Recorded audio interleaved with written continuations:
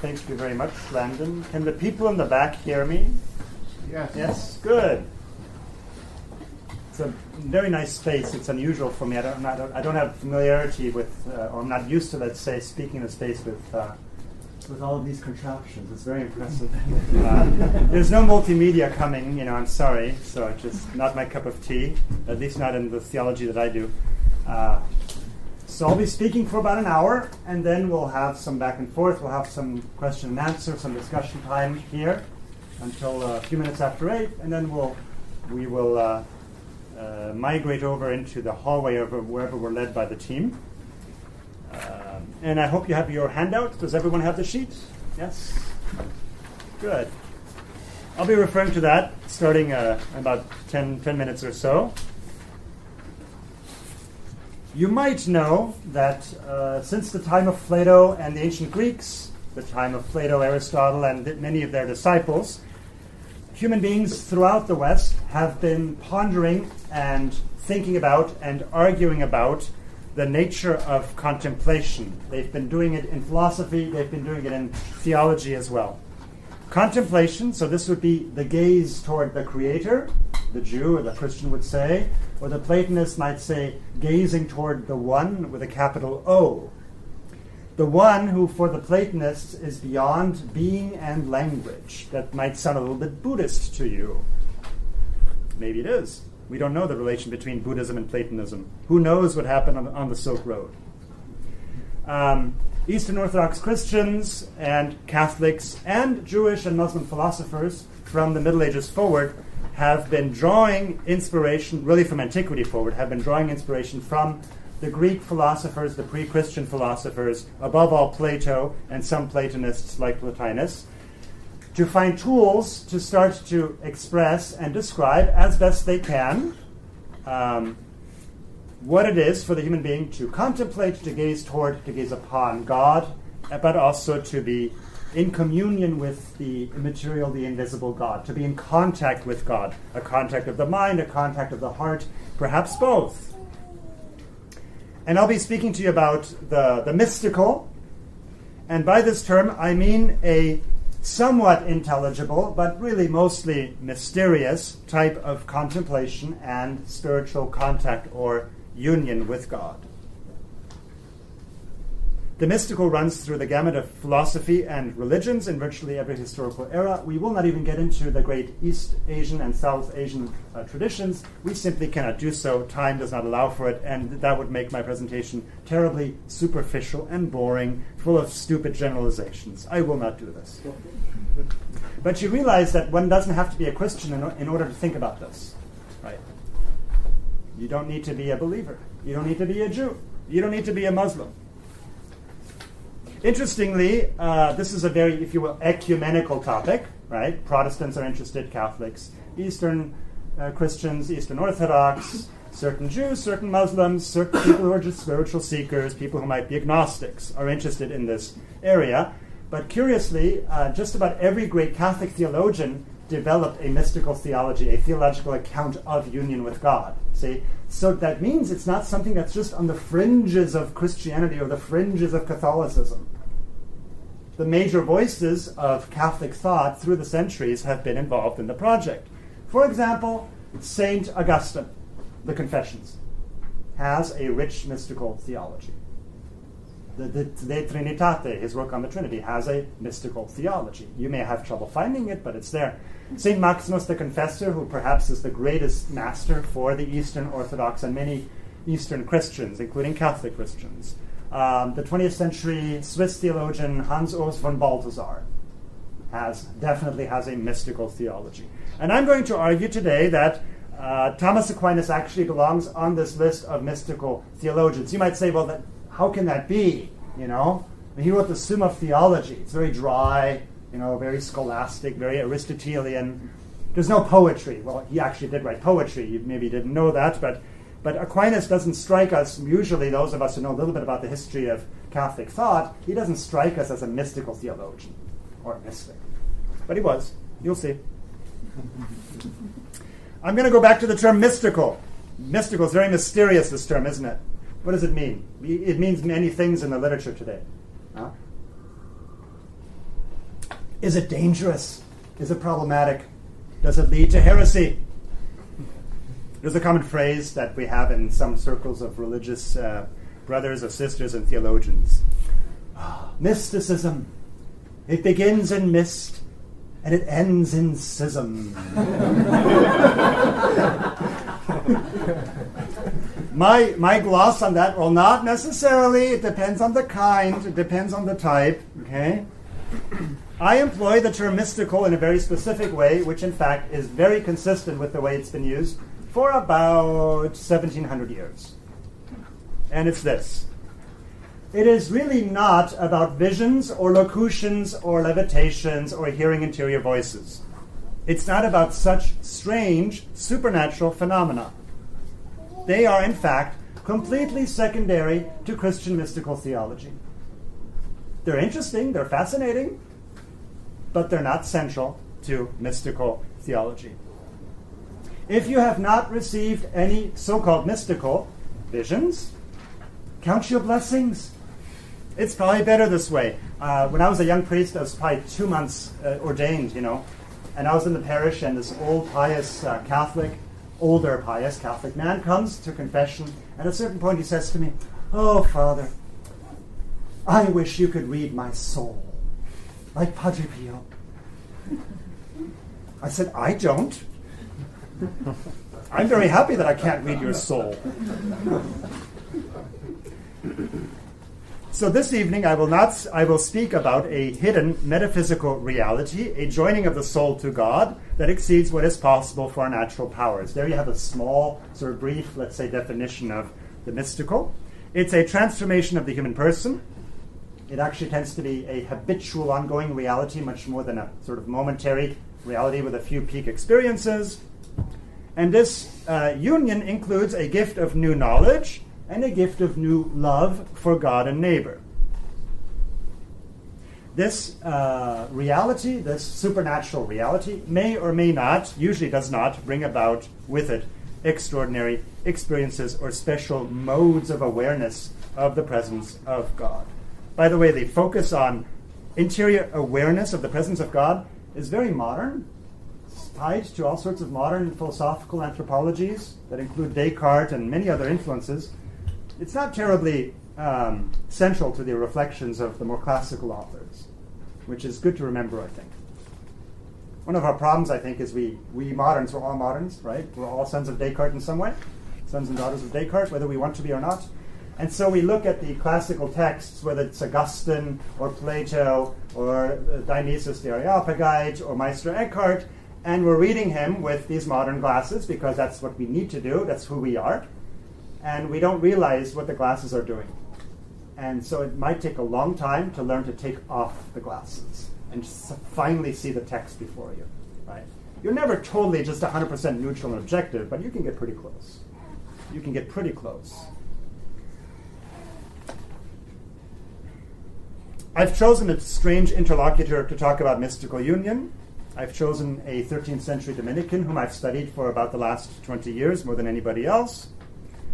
He's famous for his Aristotelianism, for his dry metaphysics, for his many, many distinctions, his beloved term, secundum quid, in a certain sense, you know. He's less known for his Platonism and his biblical commentaries, but there's a good deal of Platonism in Aquinas' thought, as there is in any medieval theologian's thought. And he wrote a great deal on Scripture the Gospels of Matthew and John, all of the letters of Paul, many of the Psalms, the book of Job. It's a great deal of, of literature on Scripture. This is a less known Thomas. Now, to follow Thomas's thinking about union with God, we have to touch on a few aspects of his philosophy and theology that form sort of the background. Okay, so we need a little bit of the background, the doctrinal background, the, the certain ideas, let's say, firm convictions that he's got, which help to explain his overall approach to union. And as we look at his mystical theology and as we look at the background ideas, what we'll find is that he's using all the philosophical tools at his disposal, as well as scripture and the wisdom of the saints. What we'll find is a thinker who is at once a beneficiary of tradition but also willing and able to exercise critical thinking about his predecessors, including saints. We will find a man who is both rational and pious. He is both conceptually clear, he's famous for that. He's also very aware of the limits of human language, maybe less known for that.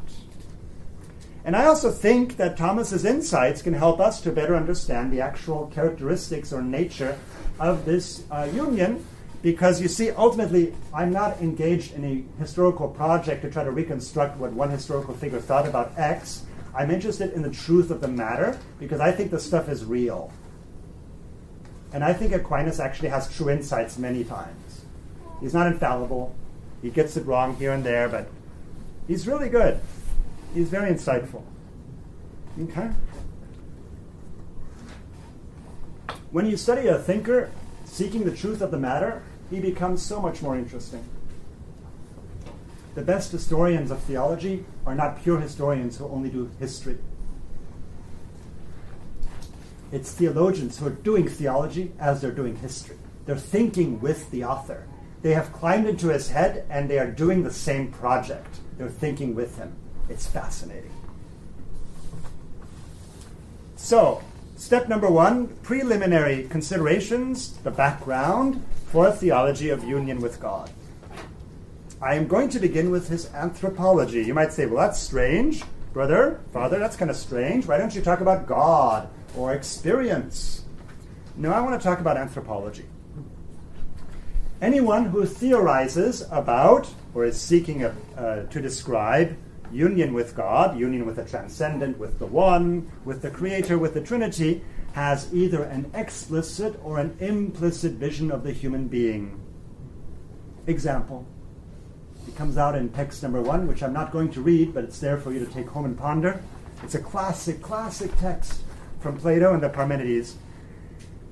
This text about contemplative ascent to the one beyond language and being assumes an anthropology that he articulates for us in many places in his corpus, he being Plato. For example, it assumes that the human soul, or he would say the nous, the mind, pre exists. It's been reborn. See? You didn't begin to exist in this life, you had other lives before. It also assumes that the soul has a quasi divine identity. It's not just human, it's more. It's superhuman by nature. That helps to make sense of how Plato describes and accounts for the highest forms of contemplation. And so you see, Plato's dualistic view of the human being, or at least Plato as he's been massively received in the tradition, we can argue about the historical Plato, but I'm not going to. That's beyond the, that's beside the point, really. Plato has understood by just about everybody for many, many centuries as a dualistic view of the human being. This shapes his account of contemplation and union with the One.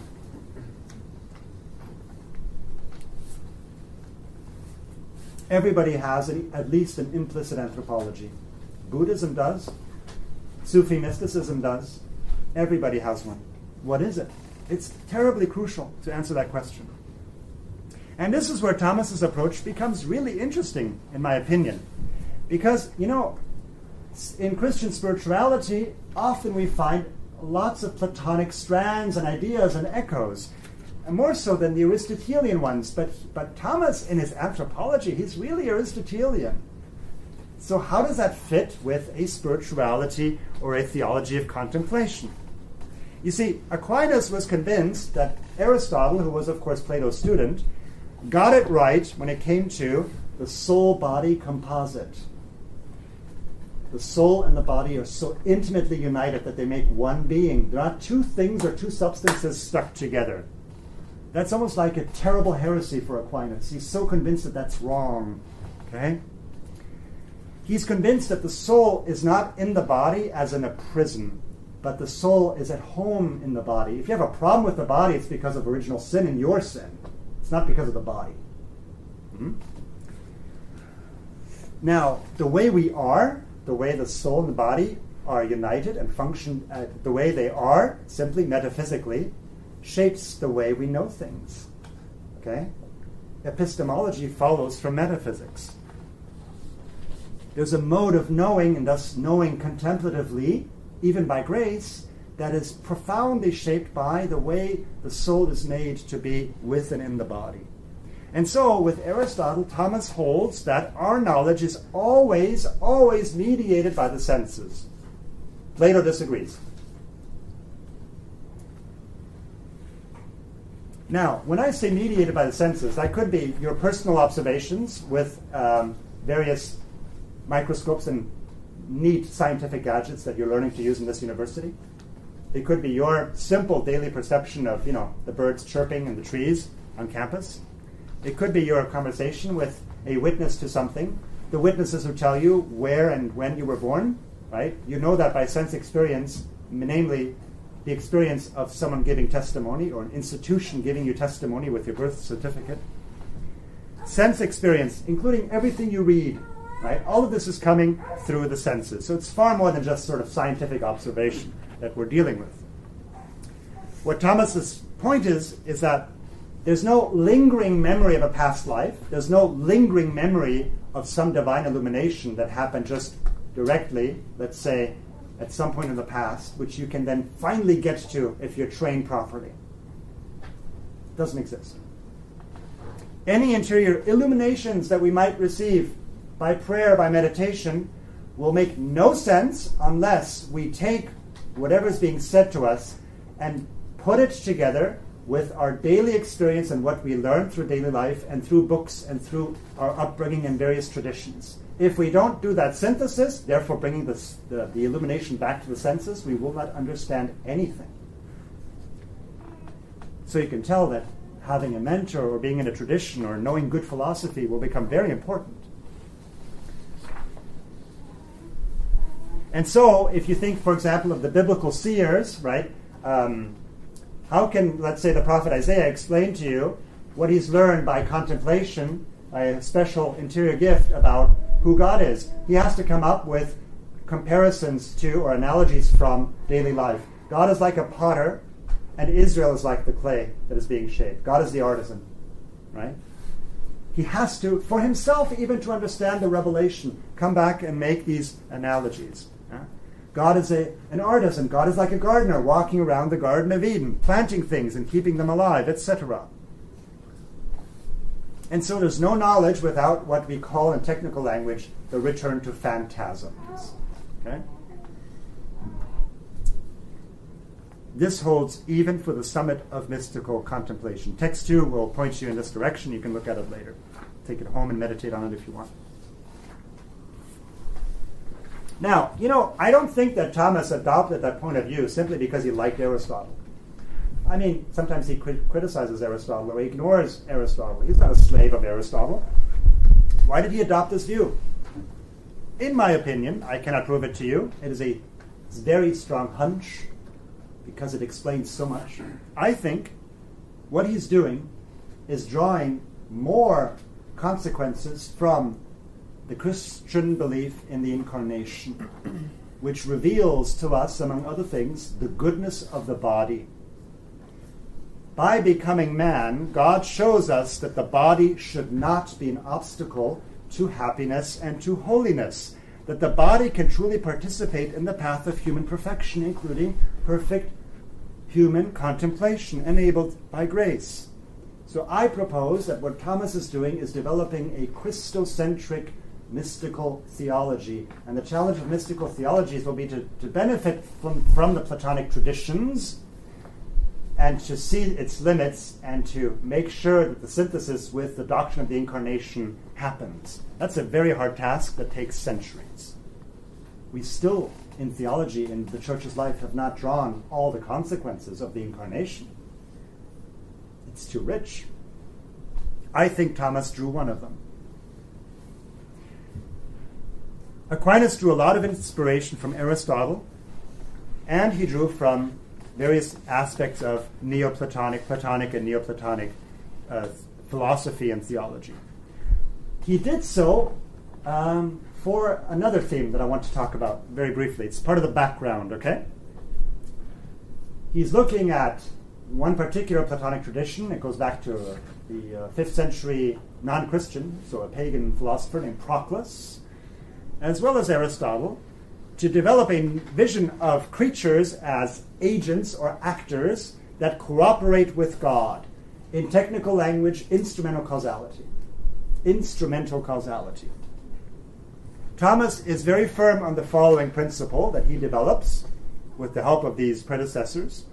Creatures operate and can do things because God enables them to do so. The action of creatures never excludes God's action. Instead, it presupposes God's action. And this is why I've given you text 3. It's a little bit dense, and for those of you not used to classical or ancient medieval philosophy, it might be a bit odd, but we'll read it anyway. Text number 3 on your sheet. The human being can only employ the power of the will given to him inasmuch as he acts in God's power. But that in whose power an agent acts is cause not only of the power, but also of the act. This is evident in the artisan, in whose power the instrument acts, even if it does not have its proper form from the artisan, but is only applied to act by him. The last uh, example he's referring to think of an, uh, a carpenter using a tool uh, to maybe give a particular shape uh, to uh, a piece of wood to create a bench or something else, a table. Okay? So, more than any Christian thinker before him, Thomas articulated, or let's say developed in detail, the principle that human action simply does not stand in opposition to, or diminish, or exclude divine action. The more God operates in me, the more I do. And this philosophical principle informs everything he does, from his theology of creation to his account of grace to his account of, account of the sacraments, etc. It's very important because most modern philosophies, starting with late medieval philosophy named nominalism, uh, move in a completely different direction. Okay? It's been argued that the Protestant Reformation is largely based on a philosophical mistake on this issue. And people have probably proven it from the texts of Luther. Okay? It's fascinating.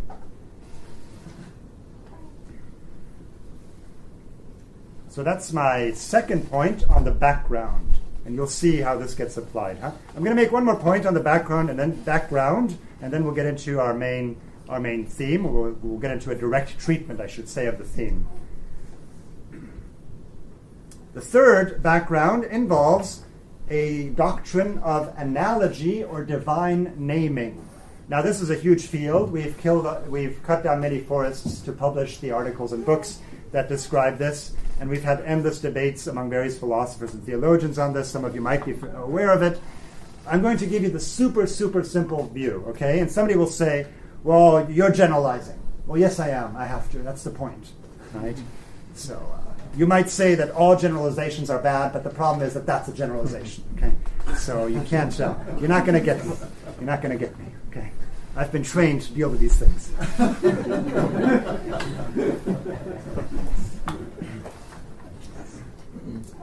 There's a threefold way of naming God. For Thomas, this really comes from uh, his teacher Albert, who is inspired by a figure we'll soon look at, Dionysius the Areopagite, and, and Aristotle's in the background and various Platonic thinkers. Okay? A threefold way of naming God. There's affirmation, there's negation, and there's eminence. This model applies to any divine name. It could be God is being, God is true, God is love. It could be a triune name, God the Father, God the Son. Okay? Um, here's an example of a threefold way of naming God.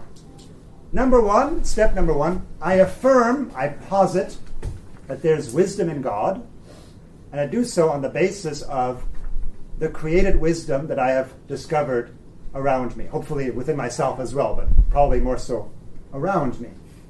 Right? There's created wisdom, your grandmother's wisdom if she's wise, right? There are a few things in creation like grandmother's wisdom. Where does that wisdom come from? Well, if you have a, a metaphysics like Aquinas does, and a theology of creation, you'd say ultimately it comes from God, who gave her all of that mental power, who gave her those experiences by his providence, uh, who gave her those rich traditions from which she learned and in which she grew and progressed. In technical terms, God is the efficient and exemplar causality. Exemplar, that rings the bell for some of you because that's Platonic, and it is, right? God is the efficient and the exemplar causality. He's the ultimate source of every single perfection of all the things around you, all creatures, including the wisdom of human beings.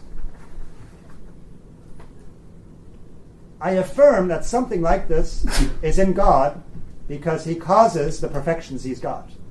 If he doesn't have it, he doesn't cause it. But he has all of them because he's pure actuality. That gets us into a different discussion, which we will not pursue. God is pure actuality.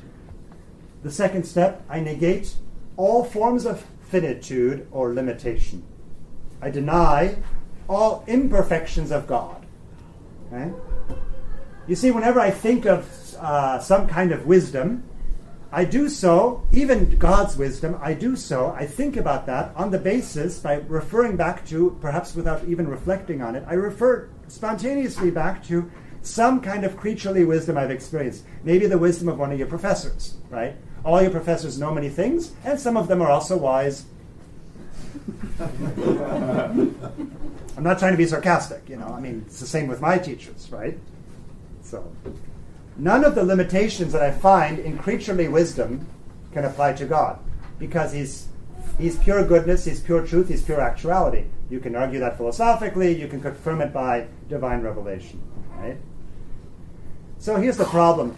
He's not exactly wise the way we're wise. Your grandmother wasn't always wise. Maybe she was young and crazy and dumb as a teenager, right? She became wise. God didn't become wise.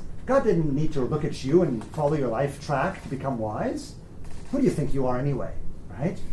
He was always wise. That's why he could create this marvelous universe. So the, the negate the, the limitation does not apply. In that sense, he's not wise the way humans are wise. What is he? Step three, eminent naming. I attribute unimaginably great, infinite, endless perfection, such as wisdom, to God. His wisdom is so excellent, I can't even describe it to you in a way that does it justice. It's beyond language in that sense, you might say. It's beyond words, huh? It's too, it's too big. And so, you know, the, in, in, Christianity, the scriptures, in a way, are trying to give you always yet another description of something marvelous that God is doing because the scriptures can never stop saying, they, they never get to the point where they've said it all.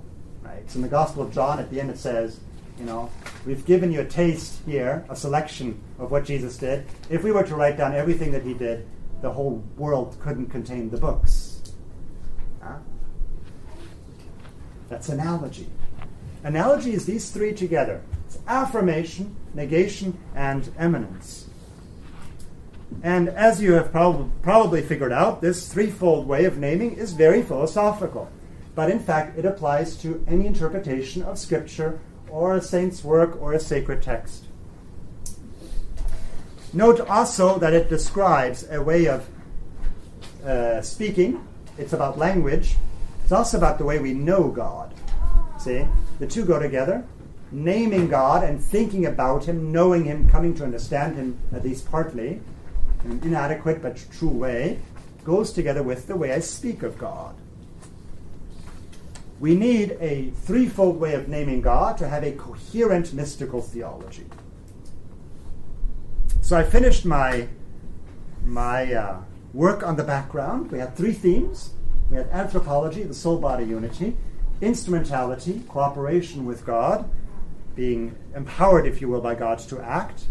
And the third was analogy, or the threefold way of naming God. And now we can jump into the very heart of the matter, and we'll start to look at texts as well. The method I'm using of using this handout, giving you a handout with all these texts, is one I learned from my mentor, Father uh, Gilles Emery, who I think is uh, the world's leading um, uh, expert on the Trinity. He's written many things on the Trinity, and he's been published by Oxford Press and other places, and he's always invited to speak about the Trinity because he knows so much. He knows so much that when the Trinity is no longer sure about some aspect of uh, its interior life, the Trinity goes and pays a visit to Father Gilles in Freiburg, Switzerland, and says, Could you explain to us the notions and processions one more time? And he'll say, Ah, it's very simple. St. Augustine and St. Thomas teach us that, etc., etc.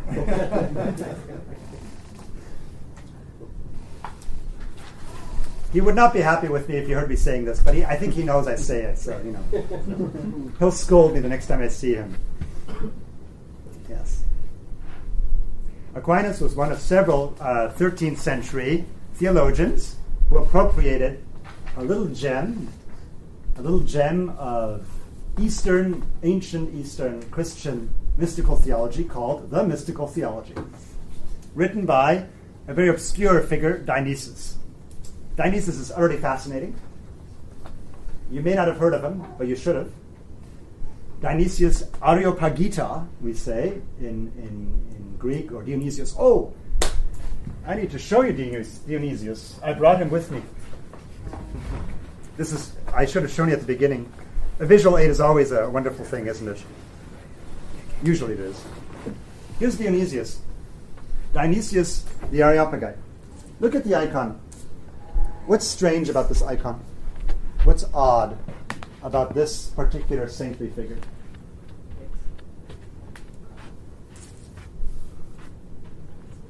What's strange about it? The Dominicans may not answer. Halo is blue. The halo is blue. It's supposed to be a brighter color, isn't it? Gold, maybe, right? Why is it blue? He's the only figure I know of who's got a blue halo. There might be one or, two other saints out there that have a blue halo. He's the first one I've seen. Why? Any clue? This is so good. I love this. Any clue? And what's the ladder into heaven? Is mystical, yeah. The problem is she's a professional theologian. yeah, she and she knows a few things about mystical union anyway, so not just theology. He talks the center of his account of union with God is the figure of Moses at the summit of Mount Sinai in the dark cloud. The artist is saying he's in the dark cloud. That's a good thing. It's a good thing. He also says that the darkness is a way to describe the luminosity of God, which is so luminous that it's darkness in relation to us because we're so far down here. Isn't it lovely? This is a print. It's not an original icon. It's a printout. Okay. I'll leave him here. You can you can gaze upon him later, you can pick him up later. You know. So, so Dionysius, a fascinating figure.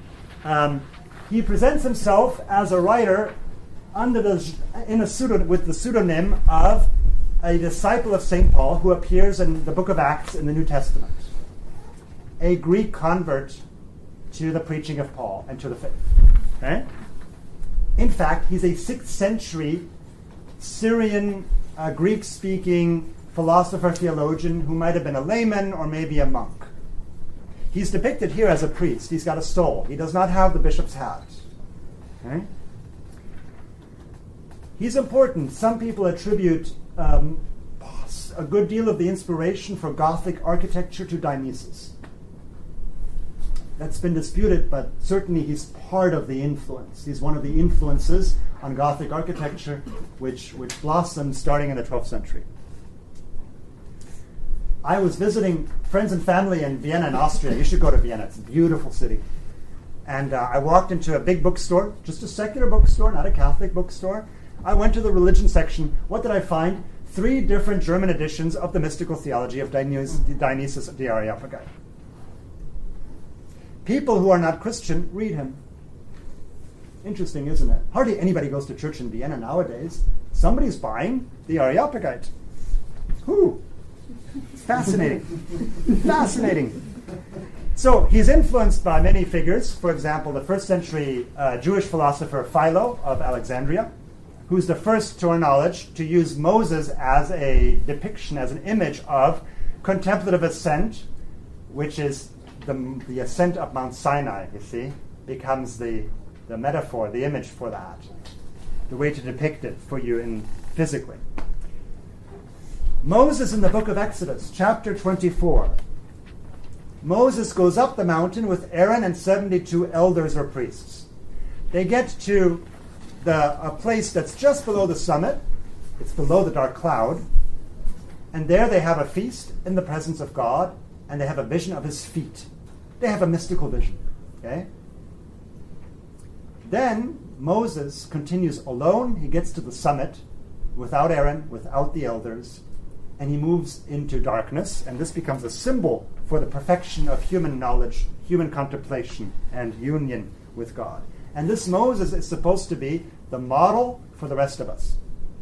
At least some of us. If you pay close attention, Dionysius seems to think that maybe only bishops and monks and maybe maybe nuns can get there, but this is another issue for another day. Okay? So they've dined, they've dined in God's presence. Apparently God provided the food, I'm not sure, but certainly he provided the, the vision of his feet. Now you realize God doesn't have any feet, right? Because he doesn't have a body. huh?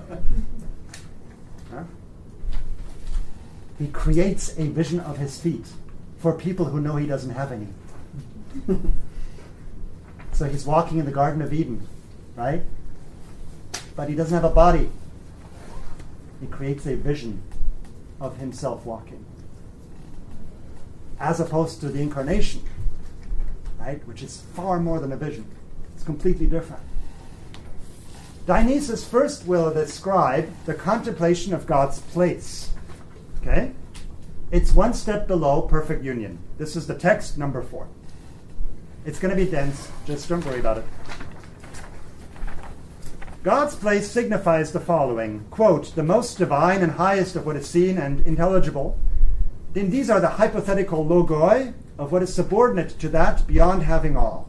Through these is shown forth the presence of that which walks upon the intelligible summits of its most holy places. And then Moses abandons those who see and what is seen and enters into the really mystical darkness of unknowing. We'll continue the, the text shortly. Okay? It's very obscure. Only a, a few specialists in the world in the history of philosophy and theology can interpret this text well. And this is what the specialists tell me. See, I, I focus on the 13th century. I, am not an expert on the 6th century, but I read people who are experts, and they say, well, the place of God stands for the summit of positive human knowledge. When I say positive, think back to affirmative names that I described earlier, the first of the three steps of divine naming. When people say God is one or God is good, which is always in their minds in reference to some unity, like the unity of you, your being, the unity of your faculties. See? This is by analogy with God's unity, and it's always popping into your mind when you ponder God's unity, some kind of creaturely unity. Dionysus thinks that the most we can know about these attributes of God, like goodness, is attained at this level of ascent, the metaphorical place that is below the ultimate stopping point. This is where all positive knowledge that philosophy and human experience and scripture and tradition can give you, this is the most it can give you. It ends here. The contemplative names God to the extent that he's manifest in creation, to the extent that he's described by, say, a philosophical or biblical tradition in his creative and saving work. Beyond that, we have a different knowledge that goes beyond language, beyond concepts, beyond specific thoughts and ideas. That's where Moses goes. Text number five. The blue halo.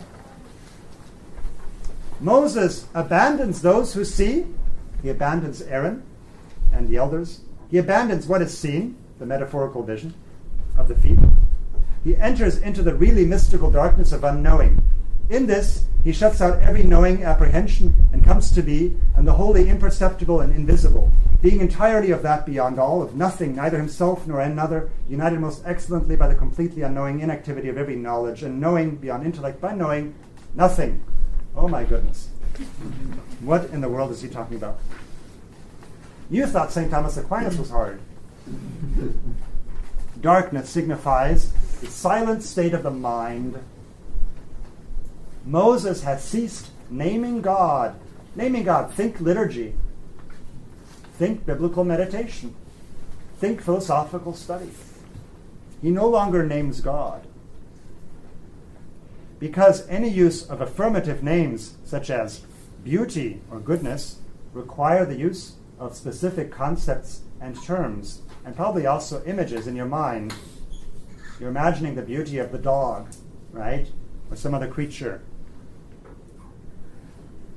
When naming God in this way, the contemplative is still employing concepts derived from the universe, from creation. The problem is that creatures embody these perfections in a limited mode, a limited way. To reach perfect union, one has to go beyond all limitation and therefore beyond all language. What does Moses do in the dark cloud? He no longer acts. He, his mind stops operating, doing anything. He stops gazing upon all of creation. He doesn't gaze upon any single creature at all. Darkness is a paradoxical expression for God's transcendence. God's light is so bright that it's darkness in relation to us. And Moses knows nothing, the text says, in the sense that whatever he knows surpasses everything he's known so far or by other means, by means of the senses, huh? the means of his mind's activity. Spiritual light, divine light, floods the mind. It can do so because the mind is disposed, is receptive, is passive. There's no human activity, and so God's light can come in fully. Notice that Dionysian con- contemplation at this level is not passive in the sense that somebody's practicing a passive mo- method of meditation, something they learn in class somewhere. It's a gratuitous divine act. Dionysius's Moses can simply prepare for it. See, it's a gift, it's a grace. God, in fact, will fully complete the emptying of the mind so as to fill it. Okay? Now, that's Dionysus. And that might trigger for you memories of all sorts of spiritual texts, Christian or other, other texts, that you have read or heard about. And it should. Thomas knew this text because he learned it as a student when his teacher, St. Albert the Great, had just founded a new school of theology on the banks of the Rhine in Cologne in 1248. Thomas is there learning it from this master, Albert, who was called great in his lifetime. Nobody else was, by the way. The greatest German theologian of the Middle Ages was his teacher. Taught this text line by line, taught the entire corpus of Dionysius line by line to his graduate students. And Aquinas will use this text and he'll twist it and tweak it and change it dramatically in a way that fascinates me. And you'll see why. You may not agree with Thomas, but you'll see why it's fascinating to see what he does with the text. See, when traditions shift and change, you have to ask why. And if you find the answer, sometimes it's utterly amazing. It might be much more interesting than the actual change itself. It shows you what makes a thinker tick. What does Aquinas do? He develops what's called a theology of the seven gifts of the Spirit, and within those seven gifts, he'll develop one, which is the gift of understanding, which he'll closely relate to knowing God in darkness. This is what he does. First of all, we're going to deal with Thomas approaching the dark cloud with the Spirit's action through seven gifts, and this comes from the book of Isaiah. Chapter 11, the Messiah, the coming Messiah, is the anointed one, right? So in Greek, Messiah is the anointed one. And the, the Spirit comes upon him and rests upon him in these seven different ways. Or maybe it's six, it's disputed by the exegetes, but that's beside the point. That's not for us to study. There's wisdom and understanding and counsel and fortitude, etc. Huh? These various powerful gifts that help the Messiah to be a just ruler and wise. In Christian theology, that kind of anointing, that sevenfold anointing, is participated in by the disciples. It's not just for the Messiah. So, for example, in the Catholic liturgy, the ritual of uh, confirmation makes explicit reference to these seven gifts. So the Spirit imparts whatever you want to call it motion, light, power that elevates the virtues of the Christian disciple so as to lead a life of sanctity or come toward, move into a life of sanctity. And the result of the Spirit doing this, especially in the gift of understanding, as we'll see, is to enable one to live the Beatitudes. The Beatitudes are, of course, the ones mentioned by Christ in the Sermon on the Mount in Matthew chapter 5. Right? Blessed are the poor in spirit, theirs is the kingdom of God, etc. We'll talk about the Beatitudes in a moment. Among the seven gifts, we have understanding. In Latin, it's intellectus. What does intellectus do? It perfects faith by illuminating you in a new way, so as to enable you to live the beatitude of the pure of heart. Blessed are the pure of heart, for they shall see God. By the gift of understanding, you will come to an indirect glimpse of God in this life and a direct one in the next. Aquinas thinks that the faithful disciple will inevitably be led more and more by, and illumined more and more by the Holy Spirit to live these Beatitudes, that the Beatitudes, in fact, are a kind of roadmap that describe what the saints are already doing in this life. But only by grace or by the Holy Spirit does it work. And all those saints, all of those saints get to get go into the dark cloud. All of them. In this life. And it's linked with the purity of heart. And we'll see how Thomas connects these. Right? It'll be a little bit complicated because it's scholastic, but ultimately it'll be very clear because it's scholastic. that makes them so much fun. It's like a puzzle. You start the puzzle, you're frustrated by it to no end. But then you start to see how the puzzle works. You go, whoa, this connects to that and connects to that and this and this. Whoa, wow. Oh. You go into intellectual ecstasy, you see, when you get there. And then you realize there are more ecstasies to come because I've only found 10% of what's there. You never study a figure just to see what the his- historical figure thought you do the contemplative act with him. You engage in the philosophical, theological act of judgment with him. You see? Even when he's a little bit, little bit wrong or very wrong, you see why he's wrong, and you learn so much. Blessed are the pure of heart, for they shall see God. Matthew chapter 5, verse 8. Aquinas follows a very long theological tradition that says, you know, when Scripture says uh, we're seeking the vision of God, when the psalmist prays, with his desire to see God, when Moses asks God to show him his face, this is a way of, to speak of communion or intense union with God. That also involves the mind. The mind has an eye. That's classical philosophy. The mind sees, but not physically. In the Summa, in the second part of the second part, question 8, article 6, Thomas explains this beatitude. He says purity of heart is attained in those who have advanced well in the Spirit's gift of understanding. He doesn't give you a checklist to see if you've advanced well. Huh? It's very interesting. It presumes a life of intense virtue. That's for sure. The purified heart comes to see God first indirectly, that's in this life, and then later in the next life, face to face. And this is how Aquinas explains the pure of heart. It's text number six. He says two things are contained in, in this beatitude, the sixth beatitude, as in the other beatitudes. There's one thing that is by mode of merit, that's the purity of heart, and there's something else by mode of reward, namely the vision of God. Uh, I act virtuously to attain the purity of heart, I merit a reward, and the reward given is a certain um, understanding or vision, right?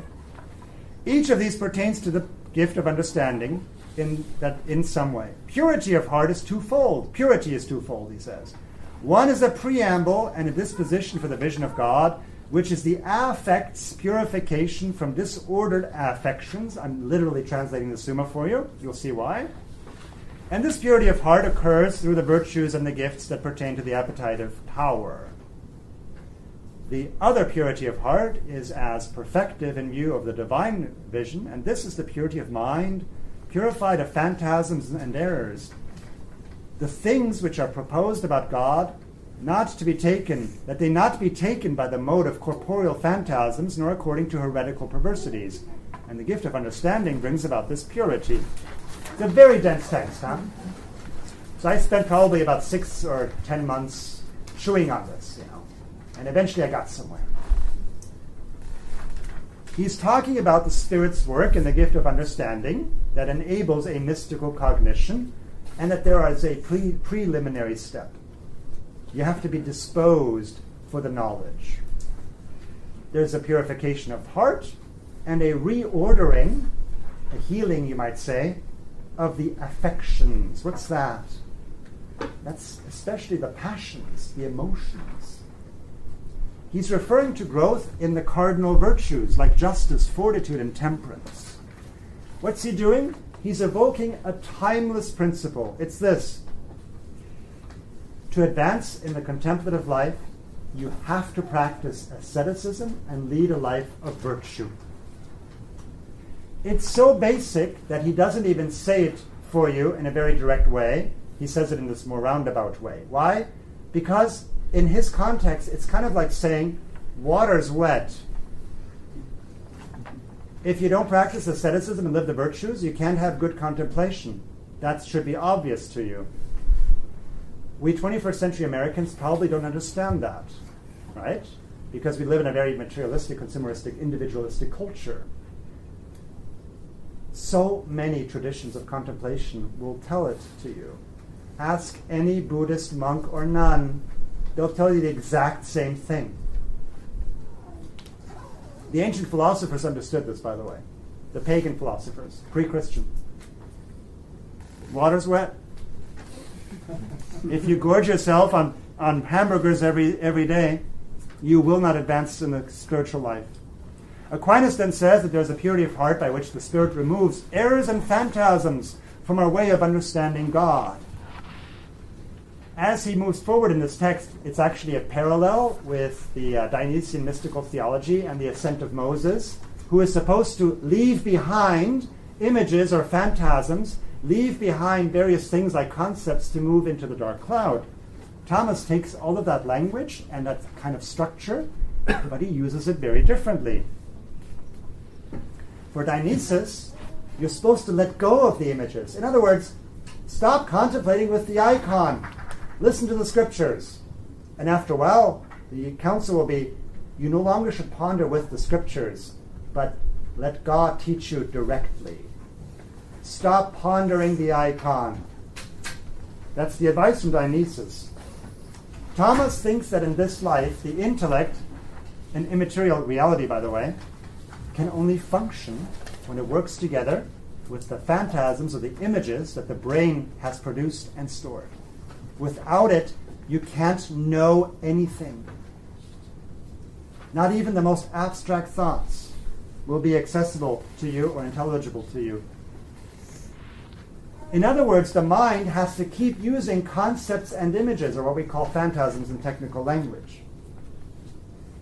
Now, notice Thomas isn't arguing that the information, the intelligible content, huh, the data being given to you, must only come through the senses. He gets it that there's something that can come directly from God, but he can only appropriate it and actually make sense of it by connecting it with what he knows through the senses, through the scriptures, through philosophy, through tradition. So here's the distinction Thomas makes. The concepts and images we use in contemplative ascent are not adequate. They're never adequate. But they're essential for the mind to function at all. Why? The unity of the body and the soul.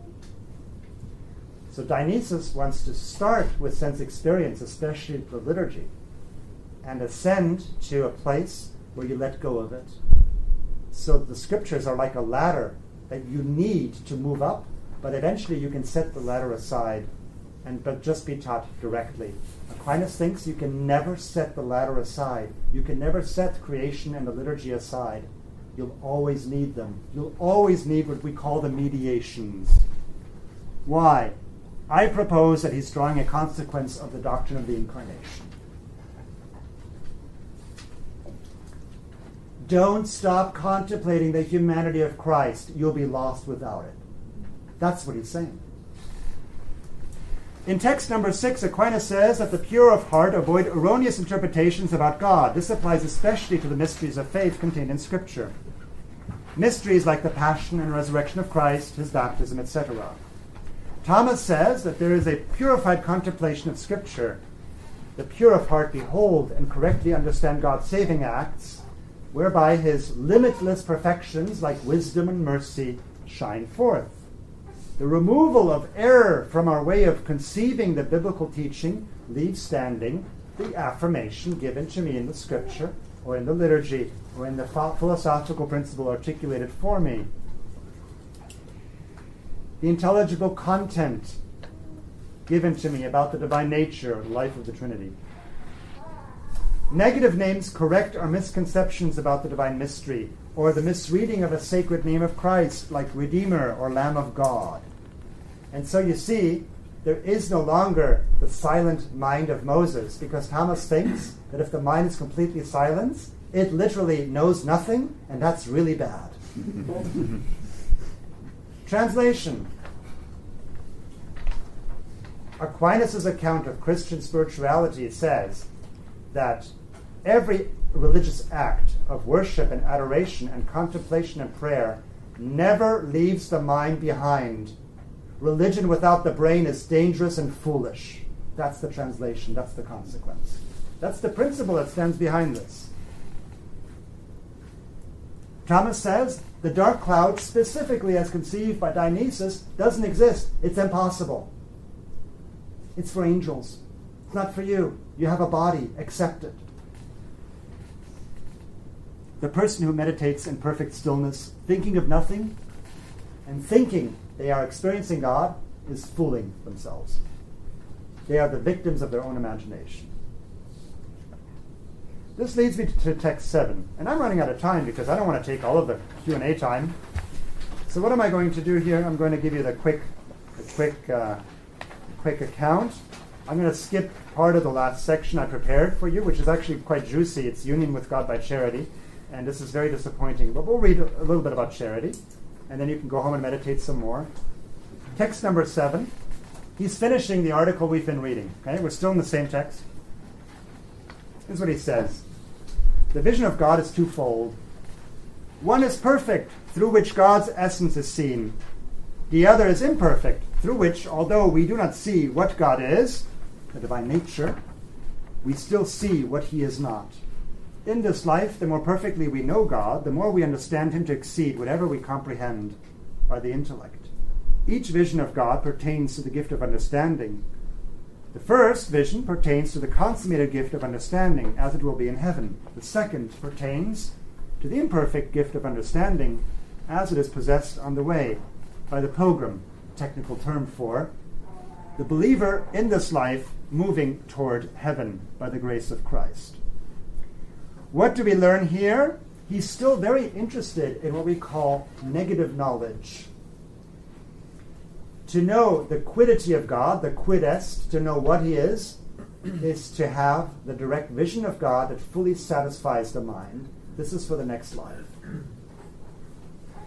In this life, he says, you will never comprehend God. You'll never wrap your mind around Him. He thinks that the humanity of Christ in his human mind didn't comprehend or wrap his mind around the essence of the Trinity. That's striking, isn't it? It's very striking. What are you supposed to do? You're supposed to realize that you know, especially what God is not, how He's different, how He's so much beyond the creatures with their perfections. You're smashing intellectual idols. You think you figured God out, you, you have figured out who God is, but you are utterly fooling yourself if you think you've figured out absolutely everything, or if you've perfectly comprehended some aspect of his action or his interior life. And so you see, we inevitably use l- analogies and metaphors in philosophy and theology to describe God, and many of them are true and very helpful. The ancient Greek theologians would speak of the Father is like a fountain that is flowing forth, and there are two streams coming from the fountain, from the fount, and those two streams are like the Son and the Holy Spirit. It's true, but it says 1% of what should be said, and we'll never get to 100% in this life, and actually not even in the next one. No interior teaching of God will actually give that to you. But Thomas thinks that the Holy Spirit can actually give that kind of knowledge of this vast distance between, between the creaturely perfections, like wisdom and beauty, and God. He can give it to you by a direct kind of interior teaching, which he calls the gift of understanding. This is why the church mouse can be much wiser than the professional philosopher or professional theologian. By the way, do you know what the French version is of the church mouse? No the holy water fount frog. I love it. They don't say church mouse. If you say church mouse in French, they won't know what you mean. You have to say the holy water fountain frog. They'll know what you mean. what are you pondering in for St. Thomas by the gift of understanding? You are penetrating more and more into the heart, into the hidden meaning of the scriptures and of the creed because he says the gift of understanding is about grasping the articles of faith. What are the articles of faith?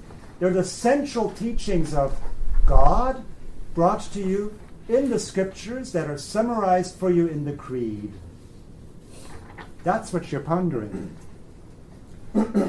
Every mystery presented in Scripture, whether it's the baptism or the passion or resurrection of Christ or Pentecost or some other event that you can think of, will give to you all sorts of created effects, manifestations of God, and you'll see more and more ways in which God is manifest in them and yet so far beyond them. What should this provoke? It should provoke great awe and reverence and adoration. But it never leaves the mind behind. The mind never stops functioning and searching and looking for clues.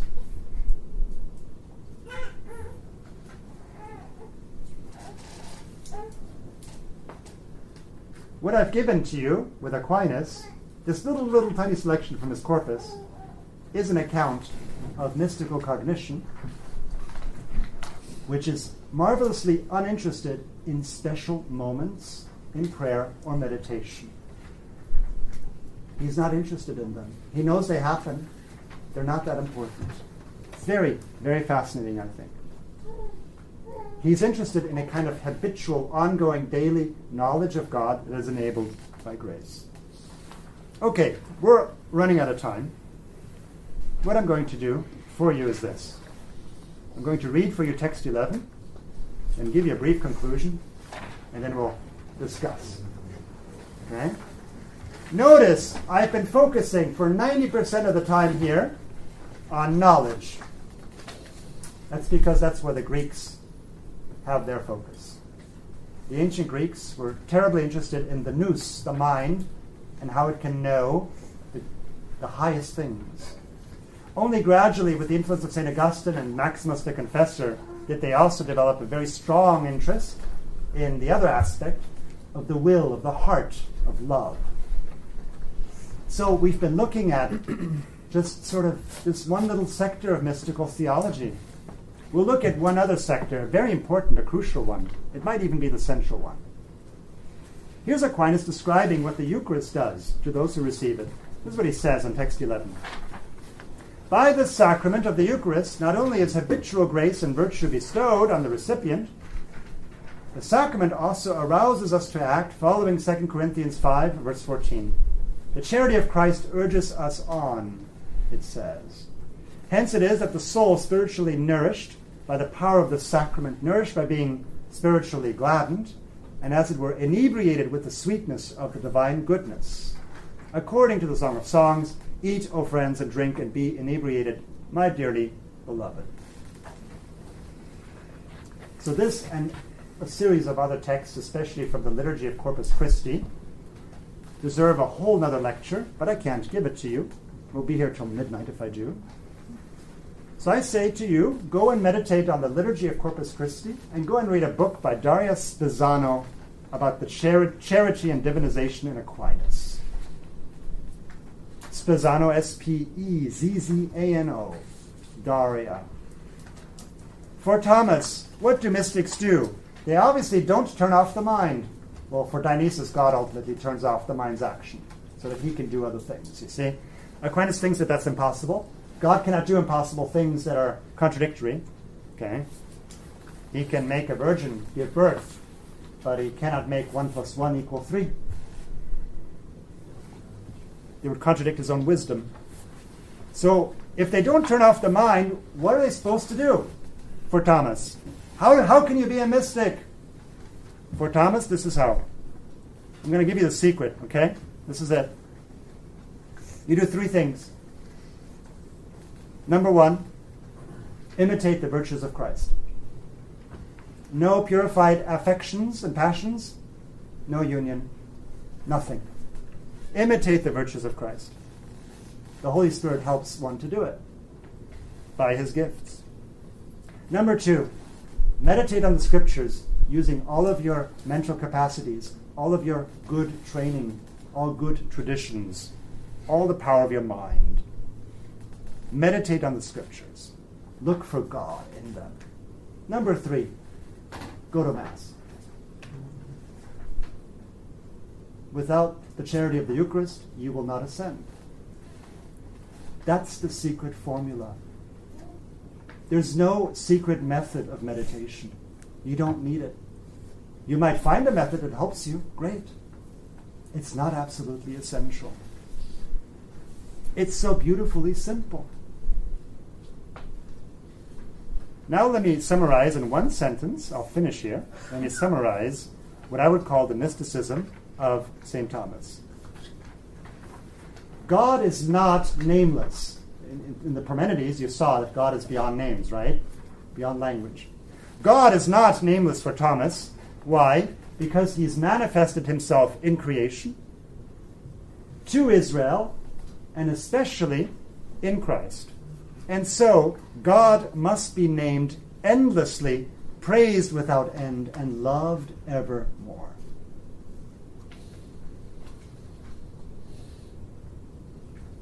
Thank you for your attention.